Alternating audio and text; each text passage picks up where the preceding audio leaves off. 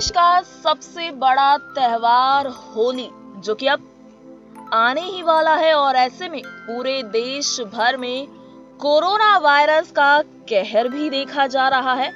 अब लोगों के मन में ये सवाल उठ चुका है कि आखिरकार कोरोना वायरस की वजह से क्या सच में होली मनानी है या फिर इस बार होली ना बनाएँ।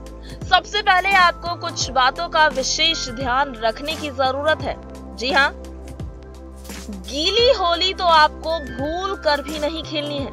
वहीं, होली खेलने से आपको कोई खतरा नहीं है, लेकिन जितना ज़्यादा हो चुक सके, आप ऑर्गेनिक कलर का ही इस्तेमाल करें और जितना कम रंग आप लगाते हैं, उतना आपके लिए अच्छा है। चलिए अब होली को लेकर डॉक्टरों और विशेषज्ञों की क्या सलाह दी जा रही है, वो भी आपको बता दें। विशेषज्ञों ने तो साफ़ तौर पर यह कह दिया है कि साल होली मनाने से आप बचे।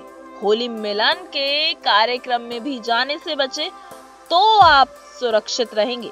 सुरक्षा और सावधानियाँ दोनों आपके हाथ में है। अब आपको डिसाइड करना है कि इस बार होली आपको मनानी है या फिर नहीं मनानी है।